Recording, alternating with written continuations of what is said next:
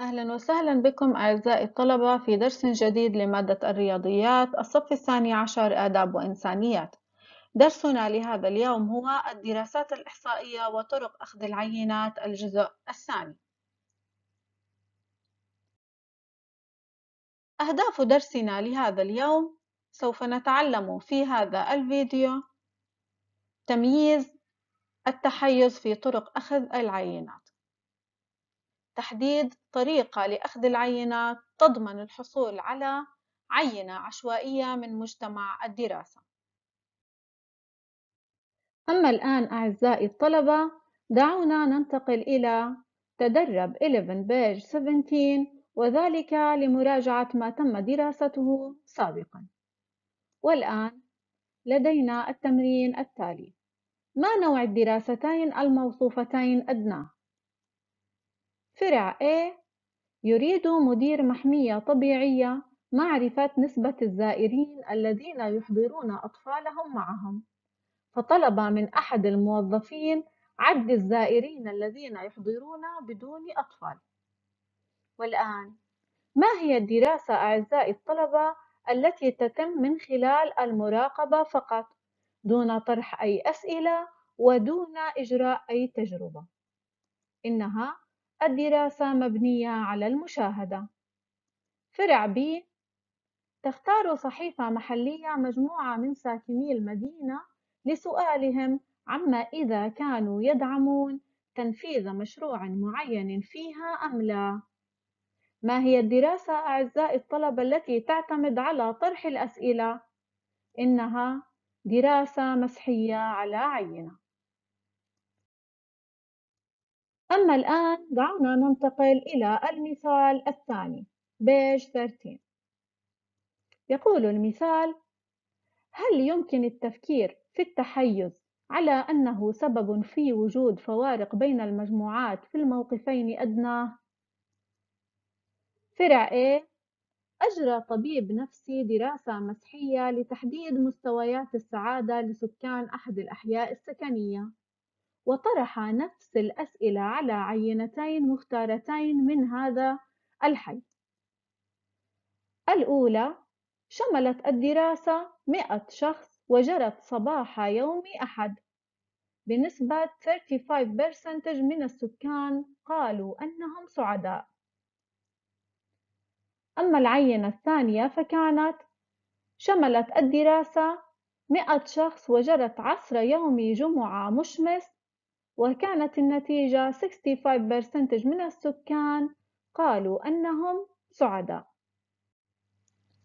الآن دعونا نفكر سويًا أعزائي الطلبة ما الذي قد يؤثر في نتيجة الدراسة عند سؤال المشاركين عن آرائهم؟ دعونا نفكر سويًا من الممكن أن يكون مكان الإقامة أو الوقت من النهار أو اليوم من الأسبوع أو أيضًا طريقة طرح السؤال أيضًا ممكن أن تكون من الأشياء المؤثرة في نتيجة الدراسة. والآن ما معنى التحيز؟ ولماذا من المهم التحقق منه عند إجراء دراسة؟ يؤثر التحيز في طريقة تفاعل الناس مع الدراسة. عند وجود تحيز لا تكون النتائج لهذه الدراسة دقيقة. فإذا السبب في اختلاف النتائج بين هاتين الدراستين يعود إلى التحيز، لأن الظروف التي تم فيها مسح العينتين قد تؤثر في ردود أفعالهم. يكون في الدراسة تحيز إذا نتج عنها بشكل ممنهج نتائج لا تمثل مجتمع الدراسة، وقد يكون في الدراسة تحيز أيضًا إذا طغى في العينة عدد فئة معينة من المجتمع على عدد فئة أخرى. ومثال على ذلك عند استطلاع آراء الأشخاص في موقع إلكتروني معين من المرجح أن يشترك أكثر في الاستطلاع مستخدمو الإنترنت بوتيرة عالية مقارنة بالذين لا يستعملونه عادة، أي أن يمكن إضفاء صفة التحيز على العينة بطرق أخرى، على سبيل المثال قد تتضمن دراسة مسحية أسئلة تؤثر في الإجابات بطريقة أو بأخرى. وهناك للتفكير أيضًا أعزائي الطلبة لدينا نصيحة دراسية. هناك فرق بين التحيز الشخصي مع فكرة ما أو ضدها والتحيز الإحصائي. رغم أن التحيز الشخصي قد يؤدي إلى تحيز إحصائي، إنما للتحيز الإحصائي أسباب عديدة أخرى. أما الآن دعونا ننتقل إلى فرع B من هذا المثال. أرادت إدارة إحدى المدارس معرفة متوسط طول قامات طلابها، فاختارت بعض الطلاب عشوائيًا وقاست أطوالهم لتتوصل إلى أن أطوال بعض الطلاب أقل من 5 feet بينما أطوال بعضهم الآخر يفوت 6 feet أي 5 inch والآن هناك تنوع بين هذه النتائج ولكن أريد التنويه أعزائي الطلبة إلى أن هناك تنوع طبيعي هنا. التنوع الطبيعي يعني الاختلافات الطبيعية الموجودة بين المشاركين من دون أي تأثير خارجي وتنتج عنها دراسة غير متحيزة. أي أن هنا إن حقيقة أن قيم بعض البيانات التي تم تجميعها مرتفعة جدا أو منخفضة جدا لا يشير بالضرورة إلى وجود تحيز فمن الطبيعي أن يتضمن مجتمع دراسة مكون من طلاب مدرسة ثانوية تنوعًا واسعًا في أطوال القامة، قد تتضمن عينة مختارة عشوائيًا بشكل صحيح عناصر من كلا الطرفين. أما الآن دعونا ننتقل إلى التمرين الثاني بيج 14 أوقف الفيديو عزيزي الطالب وحاول أن تحل السؤال ثم تحقق من صحة حلك.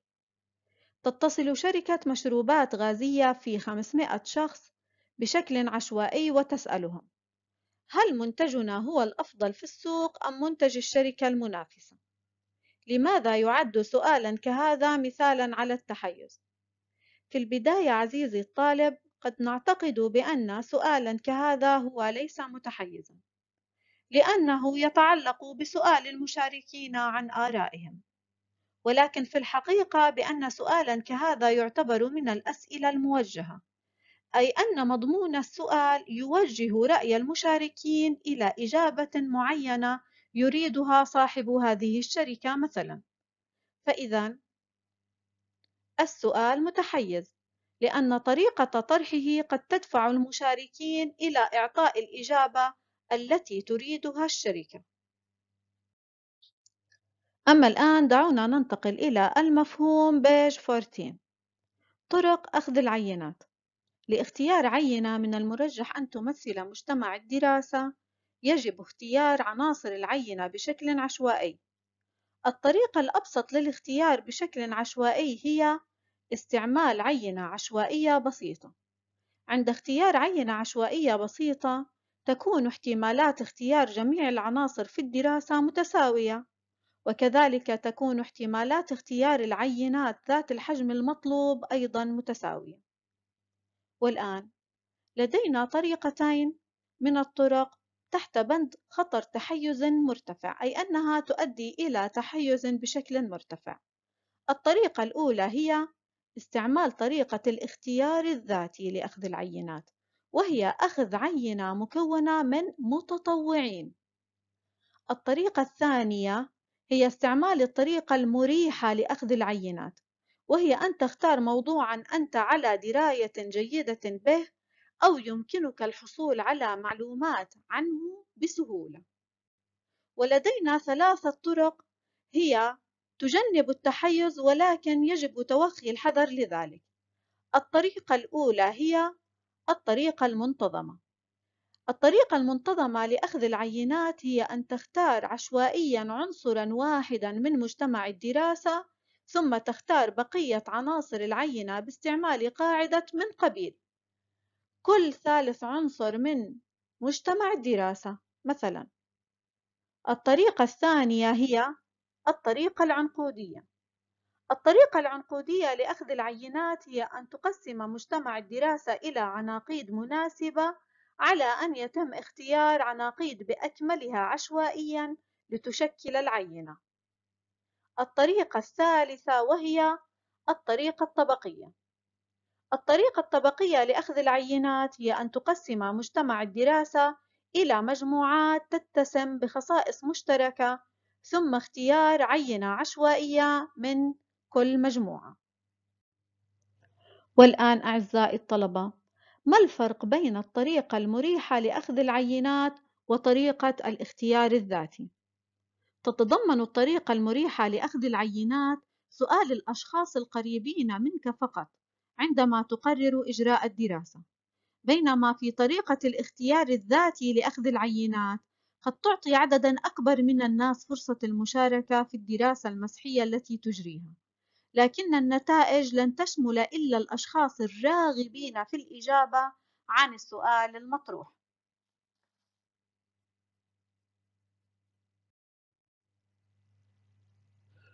دعونا الآن ننتقل إلى المثال الثالث page 15 ما الطريقة المستعملة لأخذ العينات في الأمثلة الآتية؟ هل من المرجح أن تكون متحيزة؟ فرع A بدءًا من رقم الهوية اختير عشوائيًا من سجل إحدى المدارس يتم اختيار كل خامس طالب لملء استبيان الدراسة المسحية. ما هي الطريقة أعزائي الطلبة التي تشمل مثل هذا الاختيار؟ كل خامس طالب أي أننا سوف نقوم باختيار الطالب الأول ومن ثم سوف نقوم بالعد الأول الثاني الثالث الرابع الخامس أيضا سوف يكون من العينة ثم نعود بالعد مرة أخرى الأول الثاني الثالث الرابع الخامس سوف يكون من هذه العينة ما هو نوع هذه الطريقة؟ إنها الطريقة المنتظمة لأخذ العينات. القاعدة هي اختيار كل خامس طالب. لذا من غير المرجح أن تكون هذه الطريقة متحيزة. دعونا ننتقل إلى الفرع B. يضع تاجر بطاقات تقييم عند باب متجره. أجاب 22% من الزبائن عن الأسئلة المطروحة في بطاقة التقييم. والآن أعزائي الطلبة هل الذين قاموا بالإجابة هم ممن اختارهم هذا التاجر فعلياً؟ هل كانت هذه الإجابات بالإكراه أم أنهم كانوا من المتطوعين للإجابة على هذه الأسئلة؟ إنهم من المتطوعين، فإذا هذه الطريقة هي طريقة الاختيار الذاتي لأخذ العينات، وتشمل الأشخاص الذين قرروا طواعية الإجابة عن أسئلة الدراسة فقط، وبالتالي هذه الطريقة ليست عشوائية ومن المرجح أن تكون متحيزة. فرع سي تريد بلدية إحدى المدن معرفة نسبة السكان الذين يقتنون قطًا، وللقيام بذلك سأل موظف البلدية السكان المقيمين في المنازل المحيطة بمبنى البلدية عن نوع الحيوان الأليف الذي يقتنونه. ما هي هذه الطريقة أعزائي الطلبة؟ هل قام بسؤال الأشخاص القريبين منه فقط؟ أم أنه سأل في أماكن بعيدة أيضًا؟ هذه الطريقة هي الطريقة المريحة لأخذ العينات، لأن العينة أخذت من بين سكان حي واحد من أحياء المدينة، لذا من المرجح أن تكون هذه الطريقة متحيزة، لأن أعداد الحيوانات الأليفة في الأحياء الأخرى من المدينة قد تكون أقل أو أكثر من عددها في الحي المحيط بمبنى البلدية. والآن أعزائي الطلبة دعونا ننتقل إلى التمرين الثالث بيج 15 ما الطريقة المستعملة لأخذ العينات في الأمثلة الآتية؟ هل من المرجح أن تكون الطريقة متحيزة؟ أوقف الفيديو عزيزي الطالب وحاول أن تحل السؤال ثم تحقق من صحة حلك. جرى تصنيف مجتمع الدراسة ضمن مجموعات بحسب الفئة العمرية، واختيار عينة عشوائية من كل مجموعة.